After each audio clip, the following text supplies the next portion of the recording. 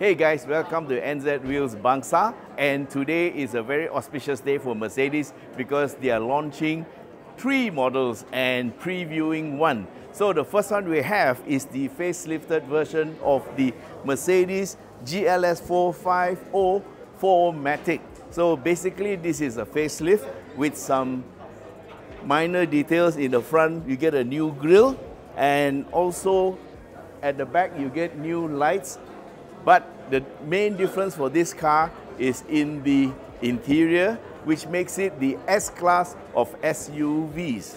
So what they have done is same mechanicals, which basically translates into a 3-liter V6 with 381 horsepower and 500 newton meters of torque.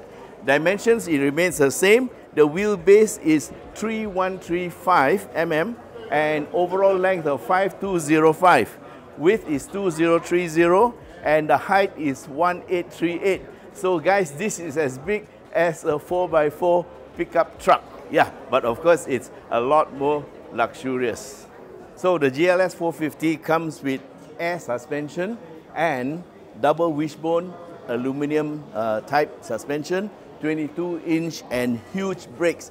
So the air suspension is what makes this vehicle stand out from the others because it is very, very comfortable and of course height is adjustable. And you get a very nice step here for you to get up and down the vehicle.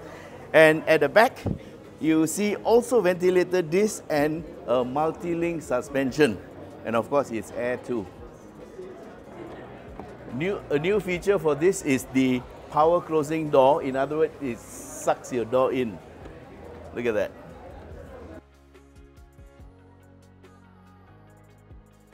Most of the work to the 450 GLS is on the inside to make it more like the S-Class. So this is the S-Class of SUVs. So they have added in the additional wood trim to make it look good. The other functions are the same. So the only difference is of course you get this power closing door, that suction type. And this one also has an off-road mode and on top of the off-road mode, they also have what you call a transparent bonnet, which I think is a camera in the front, and you can see it activated through here to see what's in front of the vehicle because the bonnet is rather high. So the luxurious items here are the same with everyone, and uh, seats are nice leather with stitching, and everything is very, very nice and luxurious. So there's nothing about a Mercedes that you can complain about in terms of luxury. And of course, now we have this dual screen here, one long screen, but two uh, meters here. This one is for the driving instruments and that side is for your uh, infotainment and your settings.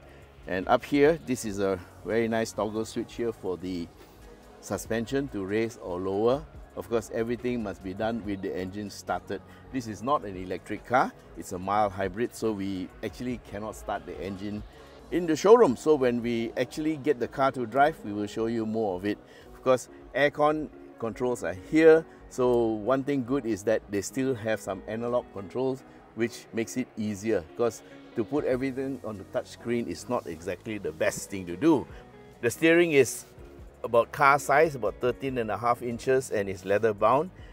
It's a bit flat here to give you more clearance for your tires and of course it's got pedal shifters. The transmission is all-wheel drive of course and it has 9 speeds.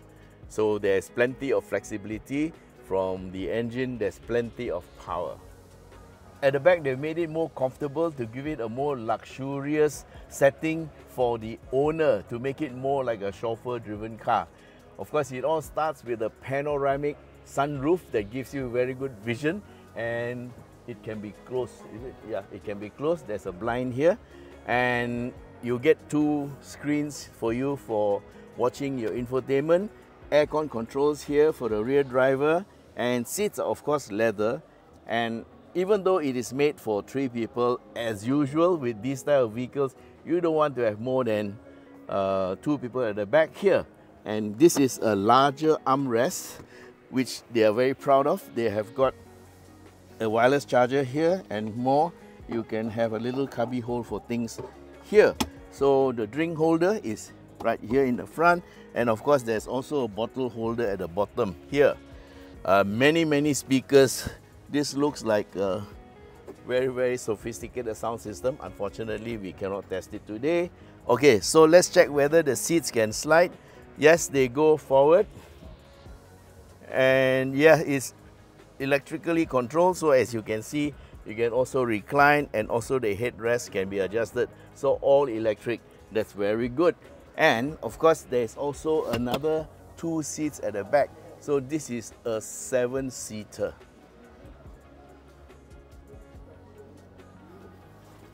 Okay, that's our very quick take on the Mercedes GLS 450 4MATIC. The price, 999,888. So you get uh, a little bit over 100 ringgit back if you give me a million ringgit. Gentlemen, this is the badge you want. And this is the nameplate you want. Once you made it in life, this is the vehicle you want to drive. The Maybach GLS 600 4MATIC.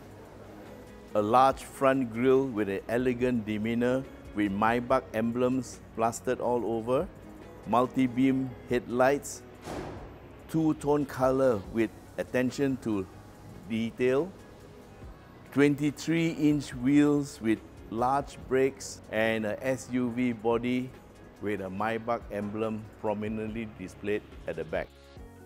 The Maybach GLS 600 comes with 4 or 7-seater, but it looks like 4-seater is the way to go.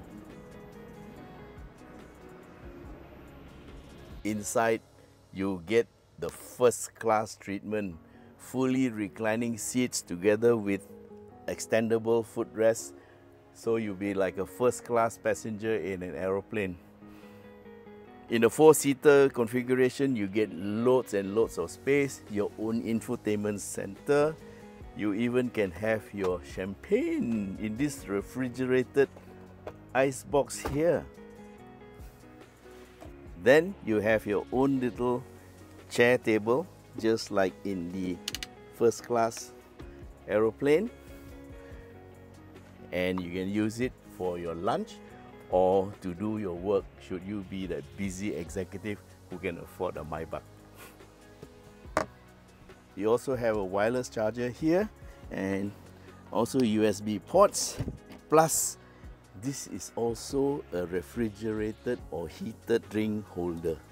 So you can keep the temperature of your drinks constant. And of course the view is really great with a panoramic sunroof.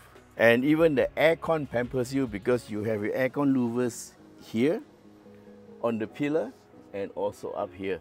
So definitely you'll be very nice and cool. Hmm, so this is what life as a tauke is like. Okay, so how much for this lap of luxury car? Only 1.918 million that's on the road without insurance.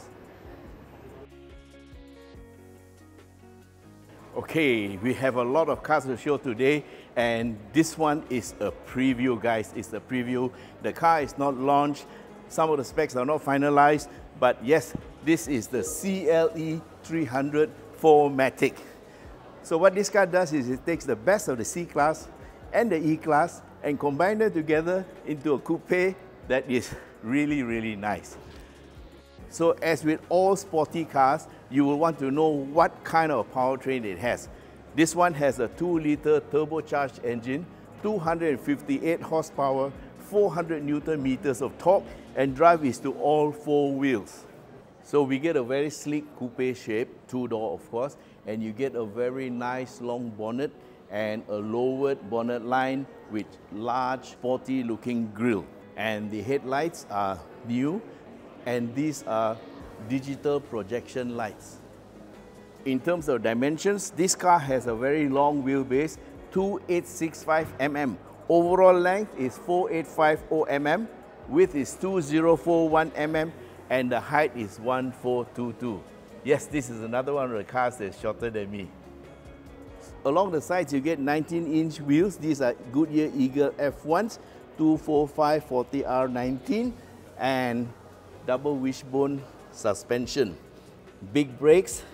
These are, wow, huge. They look like they're either four or six spot, more like six spot brakes, so you don't need to do much to the brakes. And you get, of course, a very nice silhouette. And it goes to the back. And these are staggered wheels. The back wheels are 275 and they are also 19 inch, but I think it's a lower profile. And these are Eagle F1s too. And then you have rear ventilated disc and what looks like a multi-link suspension. So suspension wise, this car has got all the ingredients to handle well. And it's got all-wheel drive, so therefore it's going to be pretty good on the roads. So at the back, you get, of course, the coupe setup, and this is called the CLE 300. This one looks a lot better than the previous coupe, and the lines are very neat, and these are, of course, uh, LED lights. To open the boot, and it's electrical, there is a reasonable size boot. You can put two or three golf bags. There's no spare tire. And here you have this little interesting thing, your tapao hook. The interior is really nice, carbon fiber finish, large screen here, and another instrument screen here. So this retains all the elements of a sporty car. You get soft touch. This is of course carbon fiber and hard touch, so it's a good combination. You get this very lovely console here. This one opens up, drink holders with a little thing here that allows you to keep your drink in place without rattling, yeah? Uh, type C to C and this is the little cubby hole here, another two type C um, power points. So you have plenty of USBs, electric start, pedal shifters, and I think this is the nine speed automatic gearbox. And yes, this is 4MATIC, which means it's all-wheel drive and it's going to be quite potent on Genting. Okay, insofar as the seats are concerned, it is quite luxurious. It is leather or could be artificial leather. Nowadays, a lot of car companies are going green. They try to stay away from using cow leather, so this could be synthetic. You have headrests that are adjustable here from the switch here so at the back it's quite okay. Uh, headroom might be a bit compromised. I'm uh, 1.6 something and I only have about 2 inches. So yes, this is basically a driver's car and you can only afford to have smaller sized people at the back. Rear seats are not reclinable, fixed position and a little coat hook here. That's about it, pretty simple. And how much is the price? We don't know yet because this is a preview. The car has not been launched, but it's a teaser to show you what's coming. Yes, this is it. The best of C and E class put together to get you a CLE coupe.